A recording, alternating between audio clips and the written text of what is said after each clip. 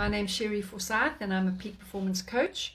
And this is the third video on emotional resilience. As we learned in the last one, um, it is possible to learn how to be resilient. and so today what I'm going to be speaking about is what kind of tools are in your toolbox? What are the kind of things you need to learn how to do? We know now what emotional resilience is, is that we are able to thrive after a trauma.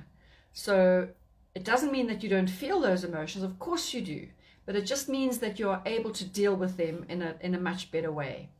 So these are some of the tools that one needs to put into your emotional resilience toolbox.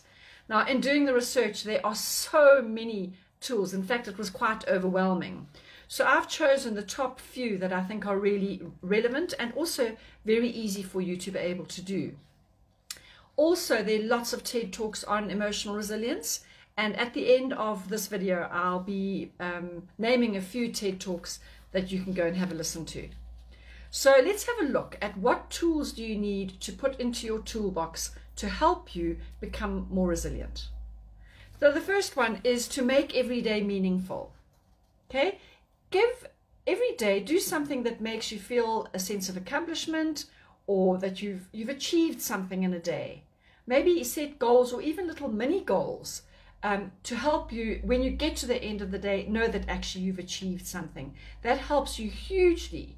You can pat yourself on the back and uh, that, that sense of, of purpose and achievement is very good for our souls. Uh, the second uh, tool in the toolbox is to be able to learn from your experience. So think back on how you've coped with hardships in the past. I'm sure there have been some. And how did you do it? What helped you? Did it help you to go for a run? Did it help you to have a little candlelit bath? Did it help you to talk about it or not? So think back on how you have dealt with previous hardships and that will give you a few tips as to how to deal with the current one. Okay, the next one is something that we all tend to overlook, and that's self-care. So we're talking here about physical, mental, emotional well-being. Take care of your body. Get the sleep you need. Get the rest you need. Do the exercise. Um, uh, look at yourself emotionally who are you? Do you know what your needs are? Um, uh, so we, you all know all about that. I'm not going to go into that in a lot of detail. Okay, the next tip is to be proactive. Okay, so don't ignore the problems, pretend they're just going to go away. The minute we suppress and ignore, that emotion gets stored in our body and every single cell of our body, and somehow it will come out later on.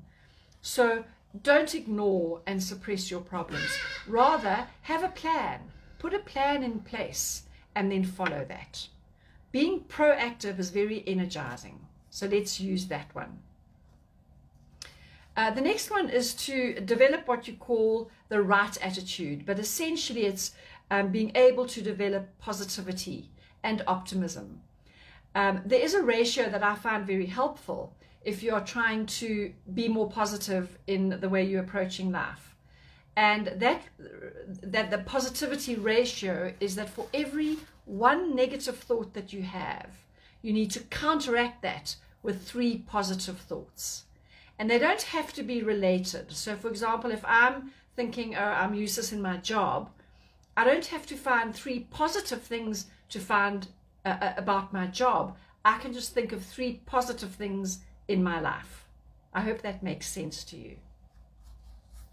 Right, the next tool we need is to become very emotionally aware, to know how we cope with hardship, how we feel. Are we introverts, extroverts? Um, we need to make sure that we don't get overwhelmed.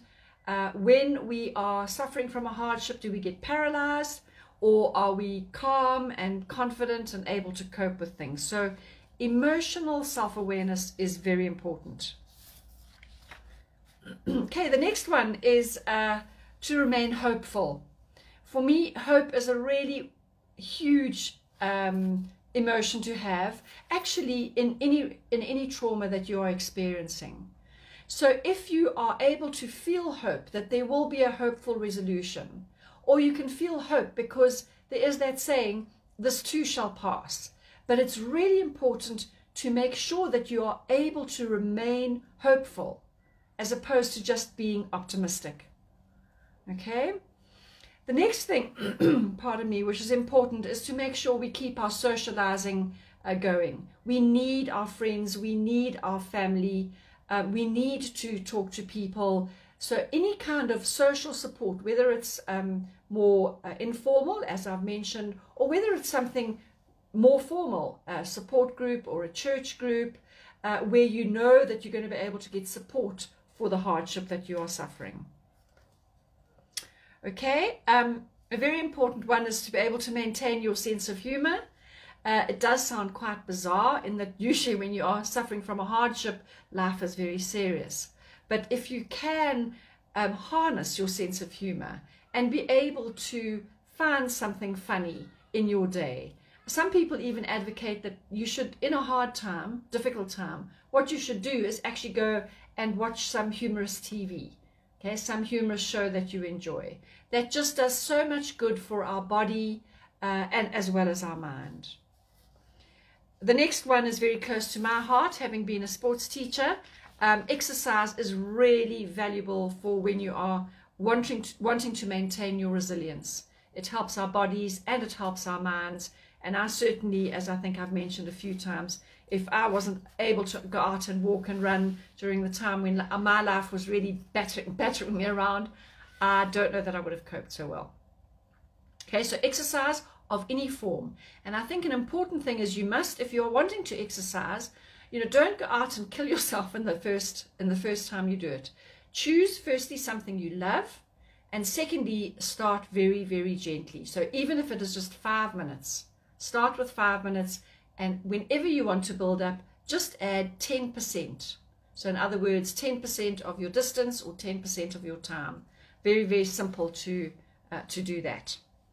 Uh, we're nearing the end of the tips that I'm going to give you. Um, the next one is to get in touch with your spiritual side. Uh, lots of people find that their faith, um, being able to see a bigger picture, being able to see it maybe from a different perspective, really does help them. Um, so, yeah, get in touch with your spirituality. The next one is something that you guys might not know about. It's it's it's called an internal or external locus of control. And what we're trying to do when we're being resilient is we are developing an internal locus of control. In other words, I am in charge of my life myself. Okay?